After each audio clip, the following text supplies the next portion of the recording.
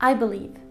I believe in a world where my future kids can wake up to a beautiful show, to the sun up in the skies and the green grass below. A world where there are no pollutants in the air. A future where life is in balance and we are people that care. I believe.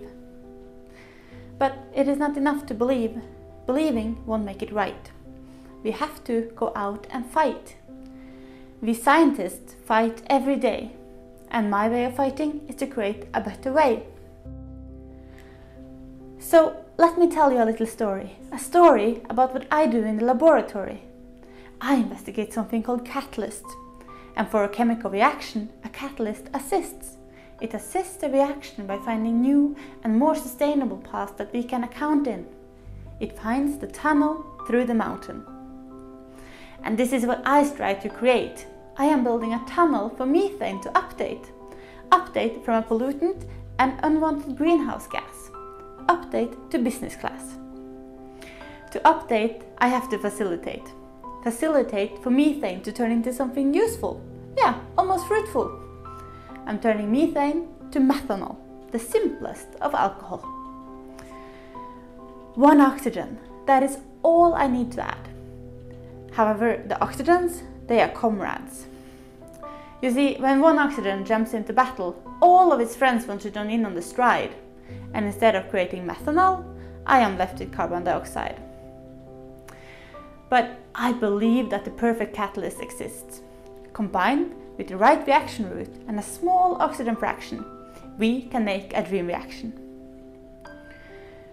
The explanation lies deep into the mountain. A mountain consisting of hundreds and thousands of tunnels and channels and special sites. In more scientific terms, they're called zeolites. On its own, it doesn't look much like a mountain, but a boring white powder. Yeah, almost like flour. But zeolites, oh, they are so much more. They are 3D crystalline frameworks and they open up a door. A door for all kinds of chemistry to occur. To turn methane into methanol, I place copper atoms along the tunnel wall. You know, the same kind of metal that decorates your kitchen and hall. When copper lacks an electron, it works as a glue. I stick oxygen to it, which turns the whole zeolite blue. Then I send methane through to the tunnels. Copper and oxygen lights up the channels. Methane arrives at the sites and magic happens. Methanol is created by switching of atoms.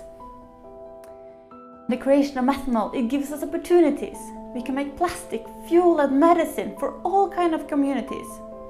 And if that isn't worth an investigation like this, I don't know what is. So that is the story of how I fight. How I fight to not lose sight. Fighting for one sustainable development goal. Fighting for the world to be whole. But you know, I cannot win this battle alone. So let us together attack the unknown. Because the earth and our children, they need us to fight. So believe and choose science as your weapon.